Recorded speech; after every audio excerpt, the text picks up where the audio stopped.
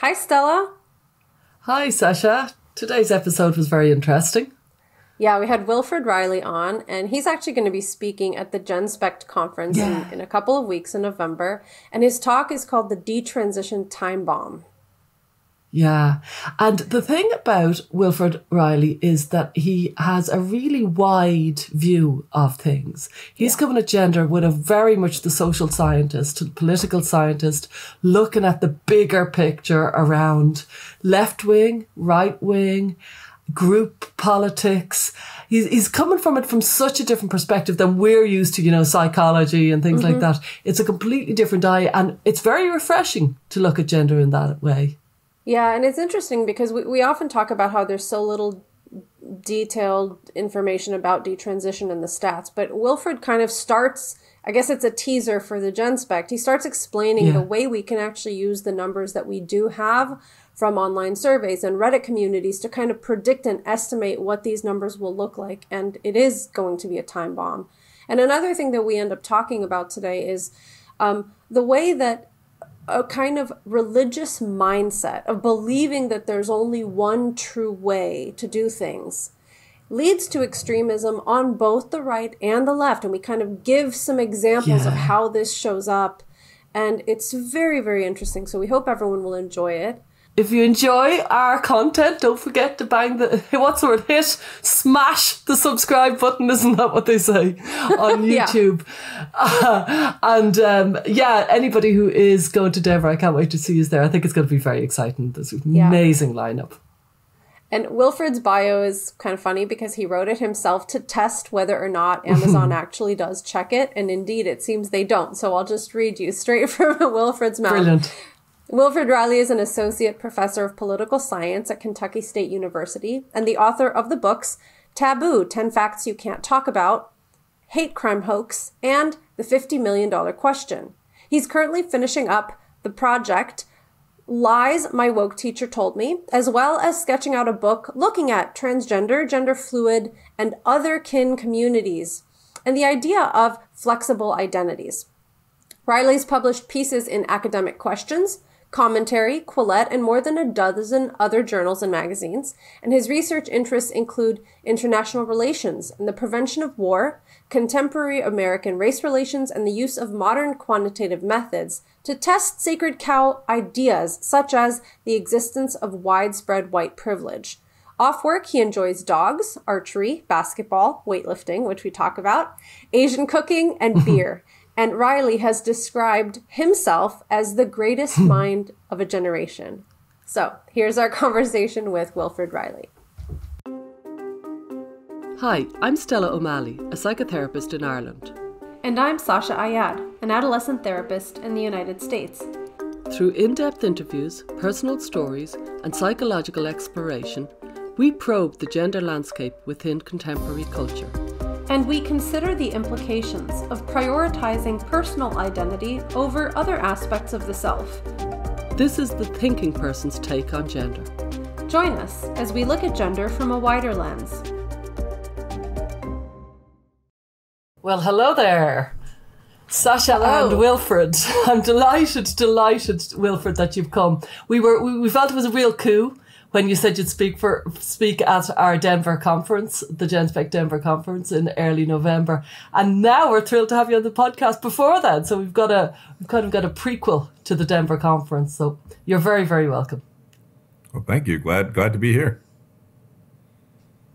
So there's a lot of interesting things that we could talk about with you. Um, one of the things that I've been thinking about a lot is, you know, I know that in your book Taboo, you, you outline several myths that are used often in left wing media to really scare people about certain things that are terrifying, like police violence or just this rampant discrimination that is happening or homophobia. Um, and you are someone who uses statistics and numbers to try and understand is this really as prevalent as the media makes it out to be? So, this is very much on my mind regarding gender because we, you know, our whole podcast is about kind of warning the alarm bells around youth and gender transition for kids. And some people who advocate for quote affirming care, they say that we are contributing to like a moral panic. and that really the numbers are very small and this is not really a big deal and they're just trying to scare people and kids are not just you know being um, quote mutilated by doctors so it, it's interesting to have you on because you're someone who tends to look at questions like that and analyze them from a statistical lens right am i getting that right so far yeah, that's that's almost entirely correct. The book Taboo looked at kind of the 10 most prominent stories in media and not entirely just left-wing media. I mean, the final chapter critiques the alt-right, uh, quote unquote dissident right. And I look at questions like are diverse societies rare? And the answer is no. I mean, that's been a characteristic of large civilized countries since the Roman Empire. I mean, hmm. the USA, Brazil, I mean, probably four of the top 12 states today, India would be in the, the very diverse category in political science. But a lot of the lies, because of the pattern of control in media, where about 93% of national media journalists lean to the left, and not well anyway we I don't need to unpack all of that but in a particular like warmongering center left way interestingly enough they're not socialists or feminists or anything that might be interesting to debate. They're they're that one sort of hillary through bernie category. But because of that most of the lies tended to be like from the center left. So i mean there was a study done by the skeptic research center that i, I shout out pretty much every time i talk but where they asked black and urban white men how many unarmed, I think just black men, it wasn't even men, are killed by the police every year. And the average answer was like a thousand to 10,000. 15% of white liberals said it was 10,000 or more. Um, and the actual answer was about 11. Like if you break the if you break the total down, the number of unarmed black men shot in the USA by cops is 11 to 20 annually. Oh my god all of all males, including Native American, and again, of course, 98% of the people shot by cops are men. Sexism, I'm sure, mm-hmm. but we'll get, might get into the reasons there. But I mean, like all the Native, Latino, recent immigrant, Caucasian, so on criminals thrown in, you're still under 100. So people were off by four orders of magnitude. And so I look at why this is, why this stuff is so common when it comes to fear of interracial crime. Both blacks and whites are terrified of something that kills 400 white people, 200 black people every year. And those numbers aren't even all that disproportionate. They're more white people. So I just go through the book and I compare the kind of upper middle class perception of race relations, policing, on and on with reality, with numbers that we have. Like we have the crime data. Do you, so, and yes, I think that's very useful in the gender space also. And do you think you said 93% of the media, is that the US media or just the, the Western world media uh, that are 93% are left leaning? And is it because they're left leaning that they, they, they kind of sell this narrative? Or is there another reason that they're selling this narrative, if you follow me? I think, to be honest, that's just the U.S. national media. But I'm pretty sure that if you took the U.K. So media, right. given the yeah. treatment of GB News and so on, it would be identical. I would. I mean, so. and there's something that we've just seen over the years since the 1960s really radicalized a lot of people. And then you started seeing a reactionary backlash that's just about as obnoxious to the radicalism. You've really seen people cluster in spaces. So policing in the USA is like 70 to 80% conservative, which is probably one reason it became an easy target. And I mean, I frankly would think that's not ideal if you have guys policing working class immigrant neighborhoods or something. But with media, we've seen the reverse where the people that want to be, like, I mean, I enjoy painting, you know, but the people that want to be professional artists or that want to be media figures, that want to be academics, it's just a real cloister bubble. Like, a third of what you read is going to be derivative of Marx. So intelligent conservatives often go into the business world or they go into a few fields like engineering, e- even philosophy to some extent, where you might get some options. But in sociology, history, women's studies, unfortunately, political science, you, I mean, you're really talking about 95 to 5. And I, I think you'd see that pattern in France, for example, or the UK as well. I, I just can't prove that. Mm-hmm. Can I ask for, for people who have read your book, Taboo, what is the, the maybe biggest criticism you get? Because, like, for you to describe these statistical kind of disparities between like people think it's in the thousands and ten thousands range yeah. of like let's say unarmed black men versus the numbers are so shockingly small compared to people's perceptions. When you put that out there what are what are people's responses who are kind of critique critiquing your book? Like how can you really argue with that Well, I mean, I, I like that question. I don't, I don't think you can. I think they're wrong. They lost the debate. but I mean, the, the real answer probably, well, the real answer from serious uh, opponents would Yeah. be you're not talking about just as many statistics on the other side. So, like, how does the right wing in the USA think that interracial crime breaks down? Oh, yeah. Uh, Donald Trump, the former president, uh, posted a statistical graphic once where it said accurately enough, like, you know, blacks responsible for 91% of black homicides. Um, but then it went down and it said blacks responsible for 83% of white homicides. And someone on 4chan or Reddit had just exchanged the black figure for the white figure. Like whites are responsible for about 85% of white homicides. Like I'm positive that's what happened. So, I mean, I think that you could do just as much with the right. I mean, so for example, uh, the COVID vaccines, they, my take on this as a fairly amoral leader, bluntly, uh, although, you know, I walk in the light, but is that a vaccine was rushed out because doing that would save Yeah. millions of lives. Like that, I think, is the Occam's razor. Like we saw what was do happening with seniors. Yeah. Leaders just said, okay, this kind of is some bullshit from Pfizer, which is an evil company, but it's going to work 85% of the time, and there's Go, no go, go. way to ignore ignore this cost benefit analysis. But like many people on the right think that the vaccine is responsible for a substantial percentage of the COVID deaths. Mm-hmm. I mean, there are doctors and doctors all over, you know, Twitter and similar platforms. I notice I don't see this published in the journals, but claiming that the vaccine is linked to 80,000 cases of near fatal myocarditis and so on. So I, I think that a, a serious left wing writer, um, Matt Taibbi, or even someone like Ezra Klein, if he just had that statistic and didn't have to exaggerate, could just look at that and say, okay, that's complete bullshit. Like these are the myocarditis numbers that we got from the National Council of Primary Medicine. You're wrong. So that that's one critique. You're only doing the conservative side. Yeah. Um, yeah. C- could I just say, I've heard people describe it as the death jab, and I was like, sorry, the what? You know, really over the top. Right. But I wouldn't have so much faith in the journals. I'd, I'd imagine it'll get it'll be easy enough to get it uh, peer reviewed. Any sort of thing. I've lost so much faith in peer reviewed journals over over recent times. Did you think? That gender was uh, as such a moral panic. That gender was was was part of that. You didn't right from the beginning, or what? What was your way in? Well, at the beginning, as kind of a male bro, not to stereotype myself, I thought the whole thing was just bullshit. Like I thought of it, a lot of it was creepy men pranking. In fact, I still do. Uh, but that's that's a different story Meaning, that gets into meaning more. you thought people's like gender identities, not like the worry about the kids. Like, what is the it here? I just want to clarify. Yeah, good point. Okay, when when the gender discussion started in like 2014 is when I started Oh, seeing Caitlyn serious Jenner. articles about yeah. Um, I thought it was almost a joke. Like it struck me as intuitively obvious. I mean, I you know I've taken basic research biology as a college student. It struck me as very obvious that humans are a sexually dimorphic species. I mean, there and the whole thing that Colin Wright now does, like there are only two Yeah. types of gametes. I, I knew that. Like I live in horse country. Friends of mine have invested in race horses. It's not hard to tell Yeah. which horse is the stallion.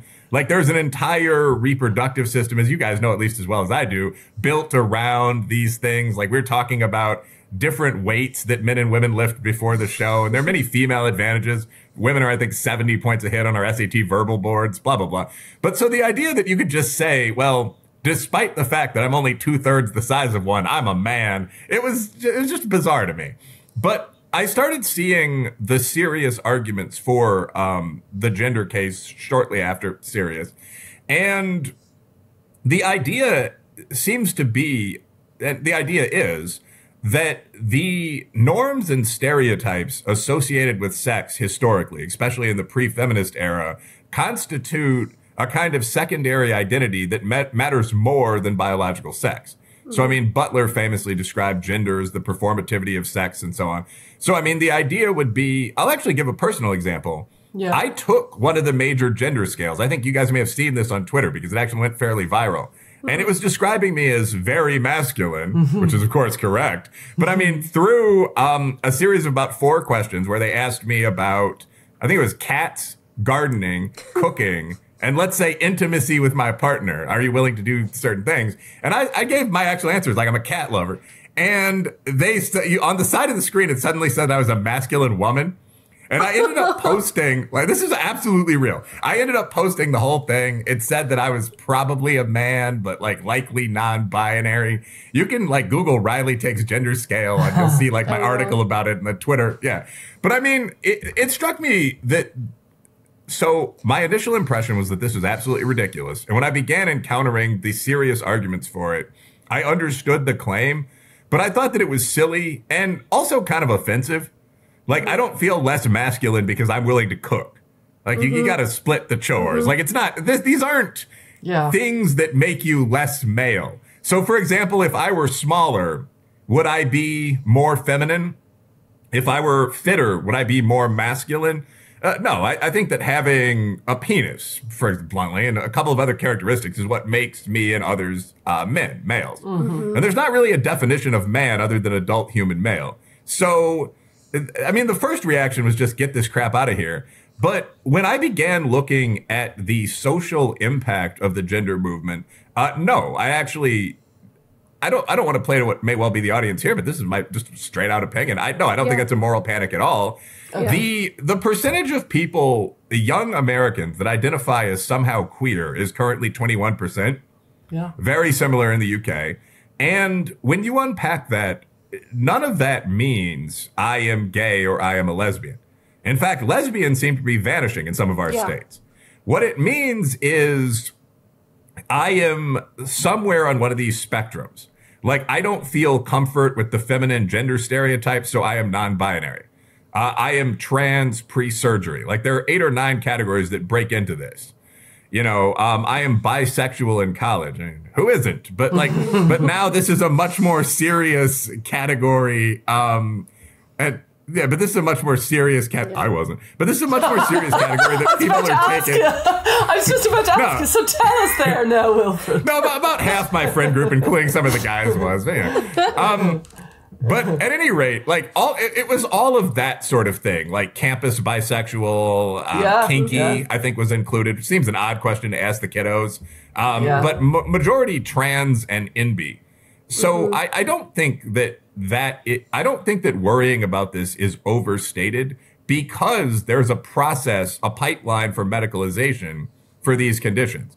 So if being NB were just the equivalent of being goth, which to some extent it is, Right. but Right. people people felt like rebels in college. They refused to be conventional males or females. I mean, to some extent, that's almost good. Mm-hmm. But mm-hmm. the issue is that now, if you dress like David Bowie, there's someone who might advise you to cut your dick off. Like, Yeah. there's a really medicalized process of treatment there where you're supposed to affirm every step. So not only does that take the rebellion away, there are real consequences. So, I mean, like puberty blockers and all that are very hardcore drugs that are used to chemically castrate rapists and other sex offenders. It, we have no idea, at least from any of the 15, 20 papers I've read, what the effects of that will be long term on a child's body. You can start these at about age nine. Um, so, uh, kind of last sentence. I'm prone to lengthy rambling, but I, I think That's that why you're I here. Think that they're all, Uh, great, great. It's ideal. Why I love podcasts. Talk shit with someone else for two hours. But um, but in all seriousness, um, I I think that there's obviously a very large underground of people that have been affected by this. And the feeling that I have is the same feeling that I had before I wrote one of my books, I Hate Crime yeah. Hoax, where people were saying, well, there are almost no uh, false accusations of hate violence or anything like this. You know, the, the number is 37 per year. And I looked at that, and that required a very formal process of contacting the FBI and telling them that your entire police department had screwed up.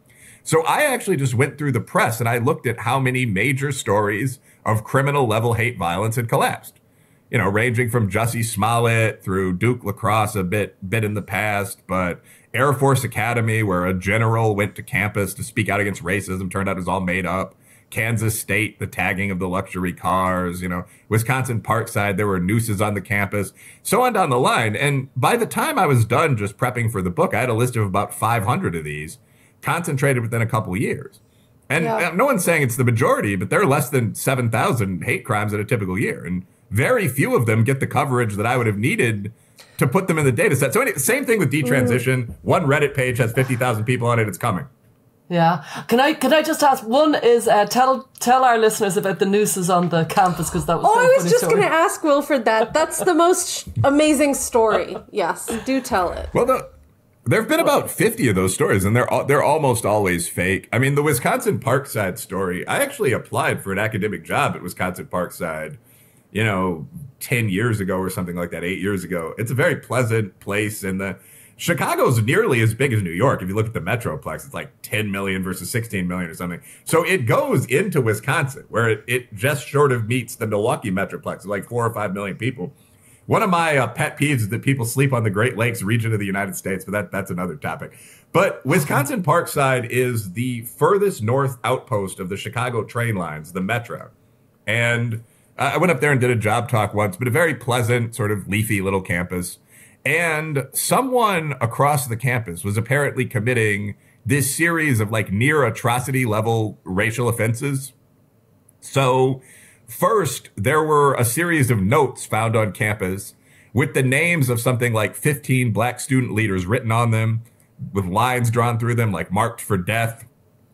This happened. There were a couple of nooses found on the campus, I think one on the ground, which may just have been a rope, but one hanging from a tree. Uh, th- this went on and on. Police began to investigate, took it extremely seriously, as they do with most of these sort of cases, at least if there's a white perp. And it turned out that the person actually responsible was a black student leader. The way she was identified was that someone went through the pro- a police detective went through the list of names of people that were allegedly targeted, and these were mostly very ethnic uh, African American names, and found that only one of them was spelled correctly, and that gave them a clue about who the offender was. So they they set her down, and she sort of broke. But that's really typical with these campus news stories. I mean, most aren't even at that level of interest. A lot of them are just ropes. Yeah. So I mean, like there was there the was a rope. were just a rope. Yeah. yeah, in, in at least ten stories in my data set, the noose and someone had to criminally report the noose for me to include it. But the noose was just like a rope hanging from a crane at a construction site, and that was that was the news story. And students were, and there really is a point here, just as there is with both men and women online accusing one another of abuse for things like asking for food. I mean, it's this students had been really attuned to the idea that there was racism everywhere. But in fact, if you're a black student at a liberal arts small college in Ohio, I'm thinking of Oberlin, where this happened three or four times, there's almost no racism. I mean, you're in the. Why the did she North. do it? Why did this woman do it? Do they Well, know? the reason that most of them did it was to kind of get attention. We've clearly given a sort of premium to victimization. And this has effects that you you see across the board. A, a friend of mine, for example, was on Tinder, the dating and hookup app recently. And one of his comments in passing was, there aren't any white women on the app. And, you know, I'm not a big Tinder user, but he was like, what do you mean? I mean, there are hundreds of them. And he was like, no, all of them identify themselves as something else because it's mm. considered a bit déclassé just to be a well adjusted, mm-hmm. you know, upper middle class white or Jewish woman. I mean, like you're, mm-hmm. so everyone describes himself mm-hmm. as some sort of kink or a person of size or you open with your politics you're like neurodivergent. And he mm-hmm. went he went through like the whole sort of thing. Like you can put all four of these in your bio and about half of the women do. So uh-huh. in in this environment I, I think that people are often very keenly attuned for instances of in particular race prejudice where in my opinion almost none of them are real and open. Yeah. i mean i'm sure There was a there was a story you said about a, a- bunch of bananas was left on a stoop, and that was mis misinterpreted. What was that? Yeah, that, that was one of the the hate crime hoaxes. I think it was a black. I don't, I don't have the full data set in front of me, but I think it was. Although I guess I just have to pull it up on this exact no, no, computer. go on. but I'm a lazy person. Any, but anywho, like a bunch of a bunch of fruit was found on a stoop, and the claim was, well, that must be targeting the group there. I think it was a black sorority, and it became this whole thing. Like, how dare they call the beautiful ladies of you know Zeta Phi Beta or whatever a bunch of monkeys? And it turned out that that it was literally just fruit. It had been left there by someone who'd been out for a snack or something like this. There was another case with a dog feces. A blind woman was walking her service dog, and she had been instructed because she was well loved on campus. If the dog shits, if the dog, you know, Yeah, yeah, yeah. does what dogs do, you can take that, you can put it in a bag, and we don't want you wandering around for a half an hour looking for trash cans because mm-hmm. you're blind. Um, just put that on the doorstep of any building, and we assume the janitorial staff there, just the guys in the building, will be glad to throw that away once. And so this person did that. She put a bag of dog feces on a building stoop. It turned out there were a lot of black students in the building, and they thought that this was an intentional attack, um, an attempt to drive them off the campus. And this became a national story, like feces found in the black student lounge. Right. And even leaving aside why anyone would care about some college prank, no, it turned out to be this lovable blind woman who was traumatized by this, by the way. Like, she apparently received like attacks. People were telling her that she had done it intentionally, and she just kept saying, I'm blind. Oh. No, there's nothing. It, it became very, I, very. I'm disturbing. literally race blind because I can't see. The thing that I, I, I would really like you to talk about would be the like I, I said earlier, is the kind of the detransition time bomb is the name of your talk mm-hmm. in Denver. And that's kind of moving into a more serious kind of field, yes. which is actually you are one of the very few people who can speak about the numbers, who can speak about stats in an authoritative way. And I, would love you, I'd love to, to hear what you've got to say about detransition and about numbers eh, on any level, because we have so few reliable stats around D-trans. It's it's frighteningly difficult to speak about knowledgeably as a result. Well, yeah. So first of all, I, I, would like to shout out some of the people that have done some writing about this that just haven't published it yet. I mean, I know Christina Buttons has. Oh, yeah. uh, Colin Wright probably worked on that paper a bit.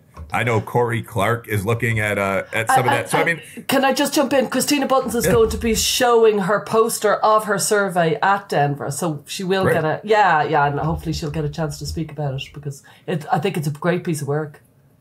Yeah, well, she's kind of doing. I, we actually are probably going to co-write an academic paper uh, and see if we can get that. Uh, probably along with Khaled as one of the authors. Um, it's Lydia Littman, I believe, was the person Lisa who did the rapid. Lisa, Lisa, Lisa Littman, yeah. Mm-hmm. Yeah, sorry. The person who did the rapid onset uh, gender dysphoria research, I know Christina's reached Lisa out to. Littman.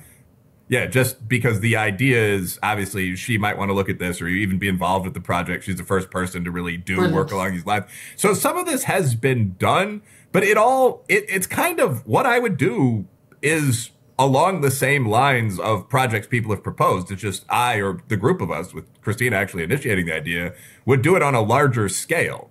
So, I mean, like, I do think you can figure out how many detransitioners there are. And this again is like the hate crime hoax uh, example. There are massive public forums full of people that require you to identify publicly as a detransitioner before you can join. And they have, you know, X number of members. So r slash dtrans right now, I might be off by a bit, but I think is at 49,000. Yeah. And that's entirely people who said they've had a negative experience with either puberty blockers, um, something beyond that, like hormones or actual surgery. So, but I mean, some, some of the members on that tra- that that particular D-trans Reddit are just let's say journalists or, or people who are just interested. But I hear you. I've been following that since 2019, and there was less than a thousand. And the well, moderator, that, yeah, the moderators say that there is a there is a significant uh, fraction is is definitely the detransitioners. Well, it's actually you can measure that though, which is one of the things that we'd we'd be interested in doing. I mean, so if the site admins agree, and it looks like they're going to, you could just survey Brilliant. the site. I mean, you could put a pinned post at the top of the site and ask people to anonymously describe their experiences. The site actually did this, but I don't think did it in like the classic post IRB fashion. But I mean, they just asked people like, if you're willing to take this survey, describe what your background is. Are you a detransitioner? Are you an ally? And about 70% of the people on the site yeah. were just detransitioners. And that doesn't surprise me at all. I mean, in the sense that if you look at the in the hate context again, if you look at the major racial incidents in the press, uh, Covington Catholic comes to mind, uh, the Jacob Blake shooting, so on down the line, things that are described as acts of abusive racism, almost none of them actually turn out to be. So the idea that there are no such cases seems inherently pretty dubious. Like in the Jacob Blake situation, the guy was a rapist who went back to his victim's house and fought the cops for three minutes before someone shot him, and he didn't die. Like there was a very intentional attempt to make these seem as sympathetic as possible, but in reality, none of them were, many of them were not real. The detransition, I mean, my own expectation would be that a professional survey would show that about 70%, once again, of the people on the major detransforms, there are three or four of them, are in fact detransitioning from something. They're mm-hmm. coming back from, at minimum, very intense social transition that might have affected romantic and sexual relationships, but probably puberty blockers, hormones. All you have to do to get hormones in any city I've lived in is go to Planned Parenthood. Yeah. I mean, so it's it's not a complex thing to do, and I would imagine that many rebellious kids have done it. I think if you're over 15, you you just need to bring yourself. You sign your own statement of, you know, authentic gender experience or whatever. So I'm going to talk about essentially when at the conference, I'm going to break down those sort of raw numbers, like all told, there are 105,000 people or something, but then talk about the surveys that have been done. Are these people real? And why it's reasonable to think so. Um, if you look at the number of, I think Colin Wright again uh, was the person that obtained this figure. But if you look at the number of people that have gotten full on top and bottom surgeries before they're 18, it's over 1500. As I recall, it's considerably over 1500. But that that is a baseline figure. Seems like a reasonable estimate of the percentage of 100,000 or whatever people that have gone to that that next step. Again, these numbers are all estimates, but you're not talking about a pool of 10 or something No, like that. It's no. in the tens of thousands. We hope you're enjoying this conversation as much as we are. We just wanted to take a quick moment and say thank you to all of our listeners. Your support is the fuel that keeps this train running. So please be sure to like and subscribe on YouTube or your favorite podcast platforms. And do be sure to check out the conversations that are happening on YouTube in the comments section. We think that we have some of the smartest, most engaged viewers out there, and we really appreciate all of the interactions. Also, we produce additional bonus content every week for our listener community on Patreon. Go to widerlenspod.com and click on Join Our Listener Community. Your financial support means a lot to us. And for those of you who are in need of parenting support and resources, we each have parent coaching membership groups, so please do check those out. You can find links to both of them at widerlenspod.com or in the show notes. And of course, you can buy our book, When Kids Say They're Trans, out now in the UK and coming out very soon in the US. Thank you so much. Now back to the show. Yeah, one of the things that's really interesting and weird about this whole world is that because it's, I mean, A, it's so politically contentious, but B, there are really ardent activists who get involved with the gender world. And, like, for example, Dr. Littman, when she was publishing her detransition really? study, which had 100 participants, she had to go kind of through two iterations of the process because the first one she put out was basically sabotaged by a bunch of activists who wanted to go in there and kind of fudge with her data by filling it out as kind of like fake people. So, you know, it's so hard to um, to just even try and collect information about this. And we know that Dr. Bailey and um, a, a co author, a parent, tried to publish a huge survey about rapid onset gender dysphoria with like more than a thousand participants. And the activists went after them, and the journal, I think, ended up redacting the paper. Stella and I talked to him about that. So it's just such a weird world, and, and it's it's weird that trying to collect this information becomes I mean, I know you're saying that there are ways to get this information, which is great. And also, this is so much more messy than I think a lot of other questions that people study in social science and And just to add, yeah, just to add to Sasha's point, there's an extraordinary culture within the medical world that isn't in the aviation world and isn't in any other world, where if a mistake is made in the medical world, they just roll over it in general, and that you know, arguably that's the culture in which detransition is is being hid. While, like, if you look at black box thinking and all that, that's considered a great way to kind of approach any issue. Like you look at what's gone wrong and you discover everything that you know about it so that you can know better. So it's it's amazing that the medical world, I think it, there's a culture that we're we're up against here that uh, that needs to be examined, but it's a, s- it's a, certainly a, a part of it. But sorry, I jumped in on Sasha's point. Not like me. Fair enough. Um, yeah. So, are are both of you guys done with the points? By the way. Yeah, yeah, Yeah. finally. Oh, okay. Okay. Cool. Yeah. So, but yeah, I, I think there are a couple different things there. And so, like, Lisa Littman actually jumped. I was only on the end of this call. I think I confused her with uh, Lydia Leiterman earlier, by the way. Oh yeah. Okay. Another cool person, but unre- unrelated to this particular okay, academic space. okay. But Got it. I was in, I was on the end of a call with uh, Dr. Littman where she was talking about this, and the, the stuff struck me as again insane. Uh, that her study, th- I, I understand this could be a problem where if you post a survey online using the standard survey monkey links or something like that, people could just spam it a la being brigaded on Twitter. You know, there's a poll going on on Twitter right now that asks whether women and men should have the right to vote. And it was attacked first by men's rights activists who said that women shouldn't have the right to vote. And now feminists have apparently discovered it and are saying that men shouldn't have the right to vote. Jesus. so right now, no one has the right to vote. it's complete worthless horseshit. It's like 12% N- and do. Oh yeah, that's right. Everyone's just non-binary. That's the end game. But I mean, so like, there's a lot of stuff. Yeah, uh, the the 78 different genders. Like I'm demi-romantic, um, meaning that I'm male. But I mean, the what's what's the other one? Demisexual. But at any rate, the the point of that though is like you can see that kind of brigading online. You rarely see it with academic studies. Like it would be considered extremely bizarre if someone posted a study about your experiences with racism to have black activists spam it by just clicking the number 10. So the gender space is one of the few situations where I've ever seen that. And yeah, she was describing that in some detail. That was that was bizarre. There are ways to get around that though. I mean, just you like Yeah. I could probably or certainly any IT pro that we put on the team could just look at the IP address that each uh, link is coming from. Are you trying to vote a hundred times? Like I can't imagine that there are not.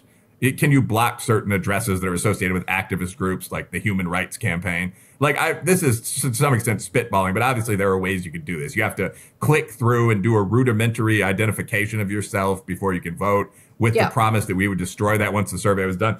But yeah, I mean, it's definitely true that for things that contradict like crazy left wing dogma, it's harder to do the studies and there are more attacks on them. And this this isn't novel entirely to the gender space. Like a casual friend of mine is Bruce, or acquaintance of mine is Bruce Gilley from Portland State, good guy. And he wrote a paper called The Case for Colonialism, where he he's also a master of the subtle, non-provocative title. but the argument was that if you look at countries that were colonized by civilized countries like Britain, not Spain in the 1500s when we were all still working out, you know, how to use metal weapons and all that. But like England from 1800 on, it's irrevocably true that they have better outcomes than countries that weren't. So, I mean, he compares former British possessions like Ghana and India to most of the rest of the world, equal peers like Ethiopia, so on.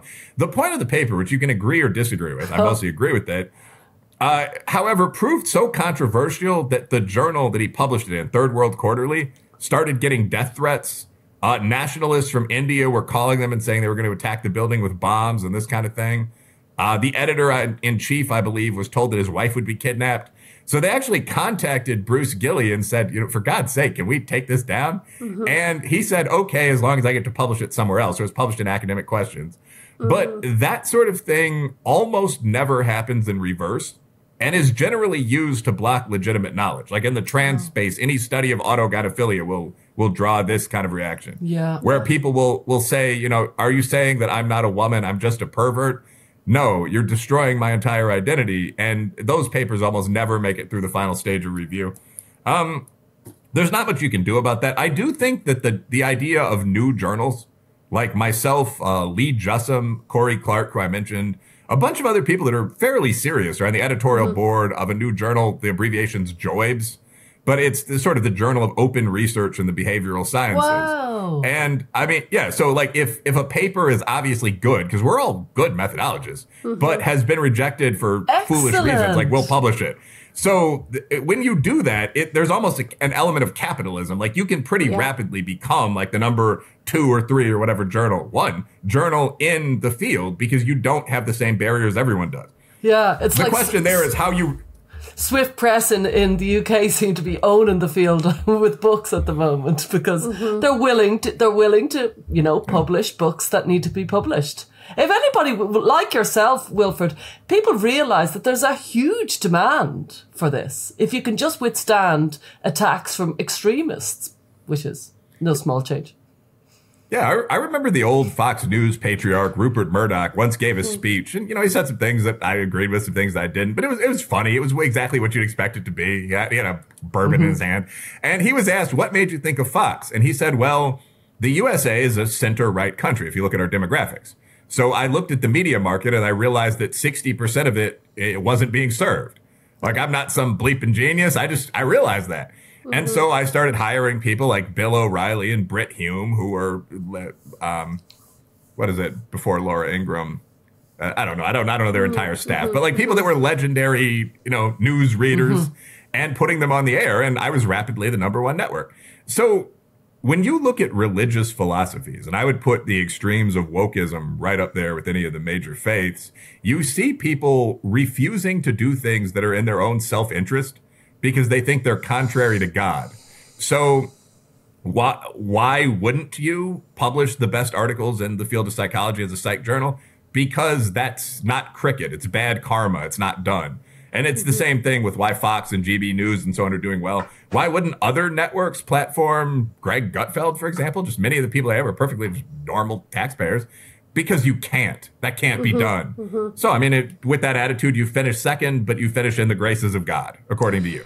Yeah, it's like a fire and brim- brimstone version of religion, and they're they're afraid of things like harm and you know, toxic yes. oppression and like those kinds of things have kind of become, and, and, it's actually something I wanted to, to go back to because I was thinking about all of those, you know, hoaxes.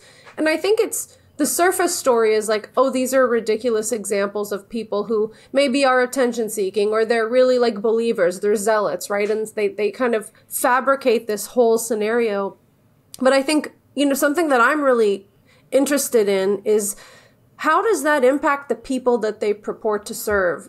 Because I just think walking around with that level of paranoia and fear oh, and yeah. suspicion of others, um, and you know, I've I've met people who I think have gone down that road, and it really destroys your ability to walk through the world in a, in an open way. Like I think some suspicion of the world is valuable, but if you really walk around the world thinking that if this person is a different race, like they are going to have all these secret hidden like evil agendas and that they're going to judge me, like what does that do to people?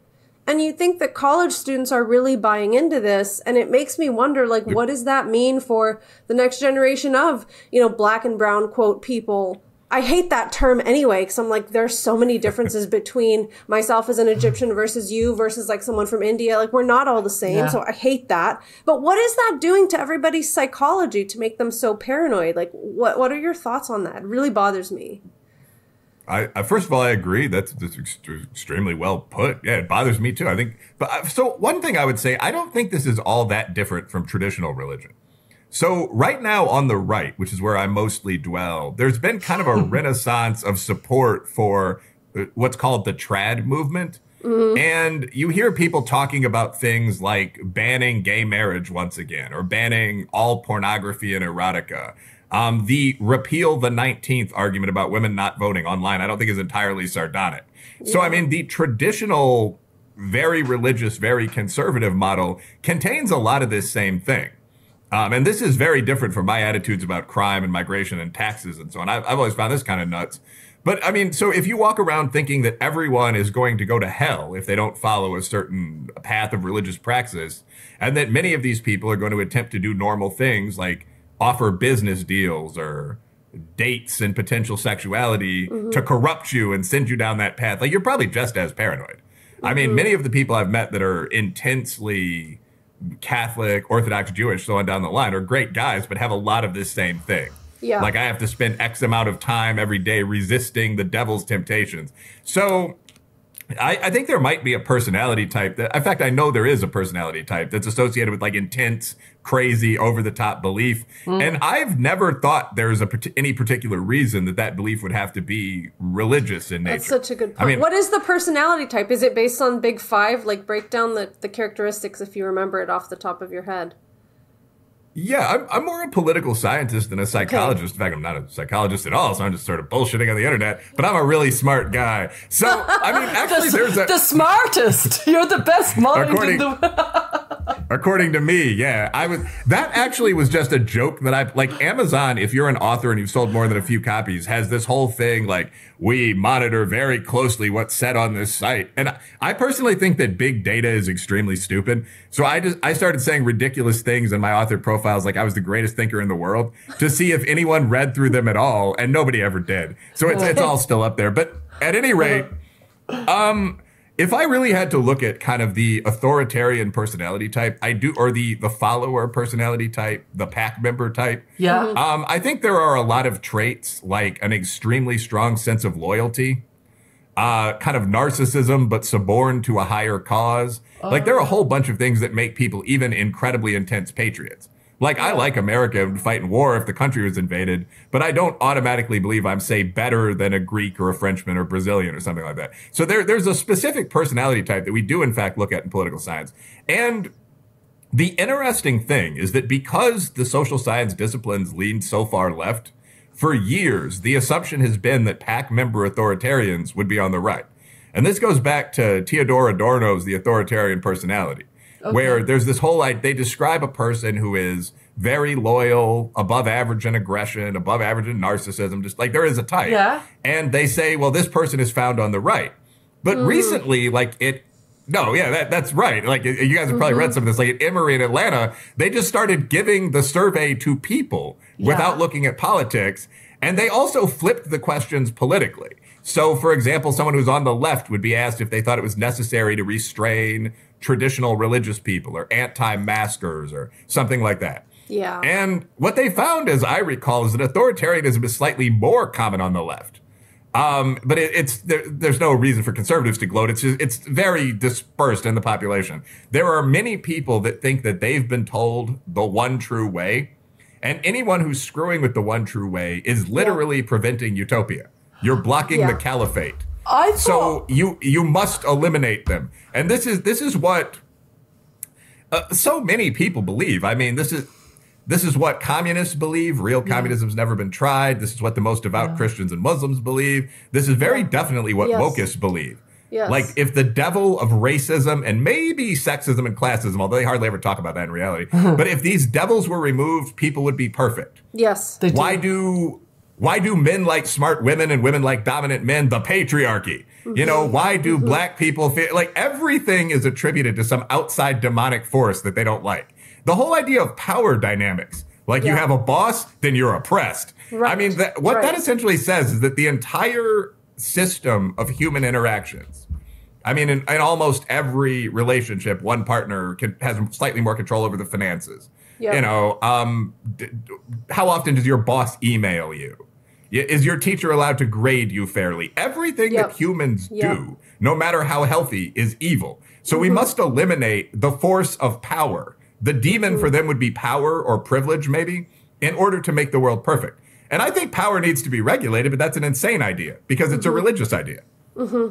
I thought it was a, a, a specific trait of the left was that they they value the collective over the individual, and therefore they value the authoritarian impulse because it, and you know I I believe we saw it in full force in COVID where you were told to stay inside Oh, to save lives and things like that. Everybody was uh, there's a gleefulness uh, authoritarian kind of impulse that seems to have gone. It, it's it's unbridled now because they feel that they're on the side of right as such. Yeah, but it's side. interesting because I re- I read Thomas Sowell finally after a long time, The Conflict of Visions, and having that framework of like the constrained vision and the unconstrained vision was really interesting because I see what you're saying, Stella, about the collectivism, but in a way, that's also this kind of traditionally conservative value of like the military and like all of these big organizations. That's a kind of collective force. And it it seems like throughout time, the left and the right almost flip flop. Like the free love 60s was mm-hmm. very individualistic. It wasn't collectivist at all, really. So it's weird how over time, when different issues come into prominence, the, the roles get switched in a weird way. That, that's actually a legitimately interesting point I hadn't thought of. I mean, my my description of it would probably just be that there are good and bad people on the left and the right. I mean, imagine.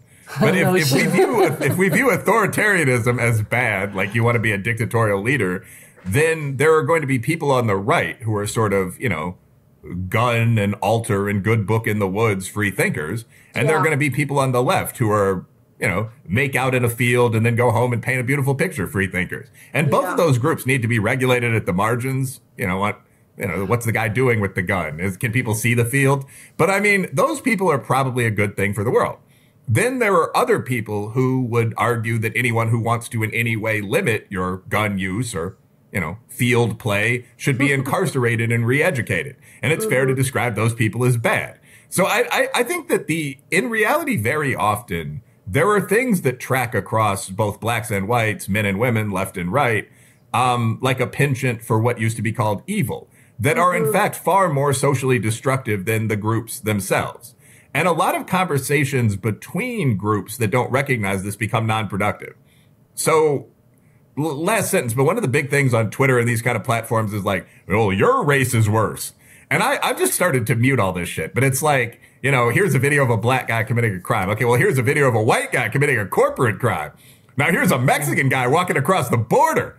Now here's an Arab guy with a bomb. And like every group, except sometimes East Asians can be targeted in this way. We've all seen it. And we've all seen the threads where all these SOBs are arguing like, no, you're worse. Um, it seems to me that the problem there would be something like crime.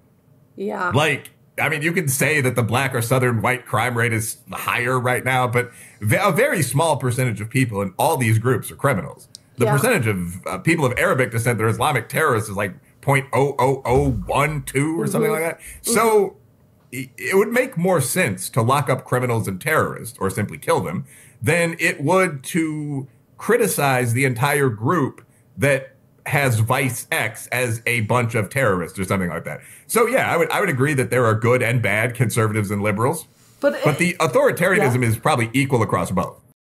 We'd like to jump in here really quick and offer up a thank you to GenSpect, one of our sponsors. GenSpect is an international organization that offers a healthy approach to sex and gender, and they're hosting the Bigger Picture Conference in Denver, Colorado this November. Be sure to listen to our episode number 134 to hear about all the amazing speakers lined up and visit genspect.org to order tickets. And if you can't make it in person, online tickets are available. We'd also like to give a shout out to GETA, Gender Exploratory Therapy Association. If you're looking for a therapist for yourself or your child, check out the GETA directory. And if you're a clinician who is questioning the affirmation model and you're looking for resources and community, please consider joining GETA today. Visit genderexploratory.com to learn more. Isn't it very strange? Um, continuously boggles my mind. You might be able to give me insight here. How did pr- the pro medical big pharma let's medicalize and make an awful lot of money out of children and other people who want to transition, older people? How did that become a left wing issue rather than a right wing issue? It, it, just so counterintuitive. If you had told me that 20 years ago, I would have explained in detail why that was never going to happen to the left. you know? Yeah, well, like a a former riot girl, like buddy and ex partner of mine, actually got the online tattoo that says Pfizer girl. It actually says Pfizer bitch, but that was that was during COVID where people were like advocating for uh-huh. vaccination. I'm not not going to name the person, still cool, but like just you know, there is an element of like like Noam Chomsky recently came out against misinformation, like on Twitter using like a mm. thousand dollar camera, like ten thousand dollar camera, and it's just sort of like, do you guys see what you're doing? Like, do Yeah. you really think that Pfizer or Facebook is an ally of the punk rock movement or something? But I mean, I, I actually think again Yeah. this gets back to the idea of movements as being defined by core ideas and often silly ones rather than by groups of people. Oh. So we've often thought of the left in the West as being the working class movement. Um, in fact, I support a lot of things that the working class left wing movement backs, like better health care. Um, a lot of my friends actually fought with Occupy in Chicago. Now they're all like investment bankers now. Twelve years later, like we lost. You know, you got to go get a job. But I mean, uh, it it always struck me that what broke Occupy was the ruling clade disuniting the working class. That's when all the racial crap started and so on. But at any rate, I think that that might not be entirely accurate. The left is the working class movement. The left has been a movement around a set of ideas from changing attitudes towards sex to Yeah. a more communist American enterprise, British enterprise, so on for hundreds of years. It just happened that those appealed more often in the past to sort of wild and underpaid working class people. Now, um, that's not necessarily the case. You're seeing people that were former hippies and so on that still have free love attitudes or that would favor a more socialized healthcare system that are very well off. So, I mean, I, I don't think that there's an inherent group that supports these ideas. I, I think the ideas themselves are the bases of the movements. So, for example, I would suspect you'll see a lot of black businessmen moving hard to the right as the impact of illegal immigration and so on uh, Okay. kicks in over the next 10 years, something like that. So, again, there, yeah, movements are defined by ideas, and people who take ideas too seriously past the point of wanting to restrain the freedom of others are usually bad. Yeah, I mean, I tend to talk a lot about this in regards to radicalization and indoctrination. And when you take any kind of idea that often has a nugget of truth within it, like it's relatable on some level, whether it's like an extreme right position or extreme left position, there's always a nugget of truth there. But then you kind of blur the boundaries of, um, you know, the way things are relative and how context matters, and you you get these hard positions like "fuck that," context never matters. Like this is a human rights violation, and then you all of a sudden you lose the ability to actually discern if you've fallen off a cliff. And I think this can happen in in any belief system. It's it's it's interesting. Um, well. Well, I you kind of just defined hmm. faith, right? Like no matter Yeah. like the old Yeah, lines from like Saint. Augustine, no matter what the risk is, Yeah. I go forward with God. Yeah. You know, they, they they conquered a lot of the world under those banners, like you know, Yeah. Ve Victus, Dies Levult. yeah. Although Dies Levult, Ve Victus is actually a great slogan for competition, but I mean, like the basic the basic ideas though were very often wrong, and people just blindly believed them. And I think people today are going to blindly believe incorrect ideas until their minds are changed. Yeah, and I mean, in the current kind of thing that we're talking about here, there there is a feeling that maybe ties in with Stella's medical comment of like understanding the complaints or the gripes of the you know oppressed person in question. So in the medical context, that might be like patient driven care, right? So oh, if a patient identifies with their depression and they love their Prozac, it doesn't matter if the producer of that drug is some multi-billion dollar corporation that will do anything to make, you know, make profits. It's the mm-hmm. patient's lived experience, quote unquote. So there's all these weird things with consumerism and, you know, listen to the children, listen to the women, listen to the patients. You know, you, you can't tell me what my mental health diagnosis is. Even in the online space, there are people who declare like, I don't need a diagnosis to be autistic. I, I just say I am and therefore I am. So I, I know you've looked a little bit at some of the online stuff. Where do you think that may fit into the picture? Because it feels like the, the social media and internet era has Yeah. changed what we tend to think about as the way people kind of think about like big pharma and things like that. Yeah, I, so there, there's a there's a lot there. Like in terms of attitudes toward big pharma and so on, I, I do think a lot of that just reflects the financial shifts within the left and the right. I mean, as in the USA, rural Caucasians become more of a population minority, and as incomes decrease, because we something that's never discussed by the left and the right is that in America we ship like forty percent of our jobs to Malaysia. Yeah. I mean, this was NAFTA was occurred in 1994. It was followed by the ASEAN trade deal. So when people when people ask about things, there's often a tendency to have these sort of silly moral debates rather than to look at. And you guys aren't doing that, but rather than looking mm-hmm. at root mm-hmm. causes, like mm-hmm. why why do people have fewer jobs? Well, because we sent all our fucking jobs to another country. You know, I mean that that's Yeah. that's the root cause. Like, why are fertility rates declining? There's this whole man versus woman thing. People are shouting about it. It's feminism. No, it's pornography. No, it's birth control. like, you can now choose not to have kids, uh-huh. and no, almost no upper class, upper middle class men or women want to have kids till they're about thirty, mm. which is when marriage starts. Now, there actually are things you could do about that, from family leave on the left to marriage subsidies on the mm-hmm. right. You know, they're they're real solutions. But the basic idea of like, no, you guys are playing too many video games, that's not really the problem. I mean, so I, I think you're seeing very practical reasons for the uh, the shift in attitudes among the left and the right. Like if poor minorities are more likely to vote for the left, if we are going to group it, and more whites are becoming poor minority group members, I mean, you'll see an attitudinal shift. Um, that's actually something we should research more in political science. Uh, in general, academics don't care about poor white people at all. I mean, it's just that that's why like hillbilly elegy was such a huge hit. I mean, this guy pointed out, well, they're the exact same problems, except maybe murder rate that are associated with black slums, uh, fatherlessness, you know, Yeah. drug use, alcoholism, DUI, suicide. They're exactly the same. Like he has, he has charts of the levels in these poor white communities. Why does no one ever come to Ohio with a positive message? It's a good book. Whatever you think of his political life since then.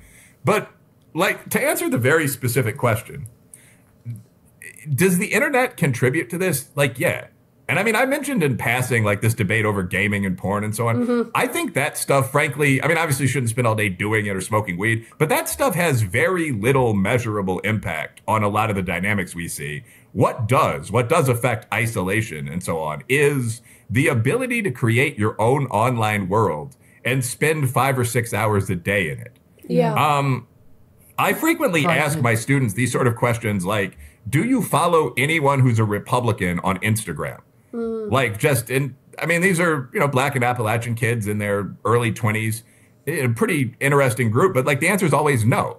It's Yeah. just this bubble of like upper middle class, mostly minority, kind of hip hop and fraternity college guys.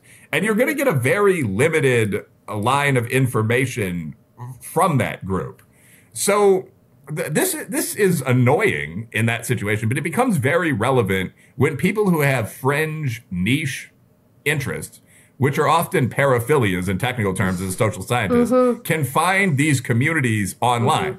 So like the whole uh, autogynephile thing, this is something that's under discussed in the trans Yeah. debate. There's a long recognized male sexual kink.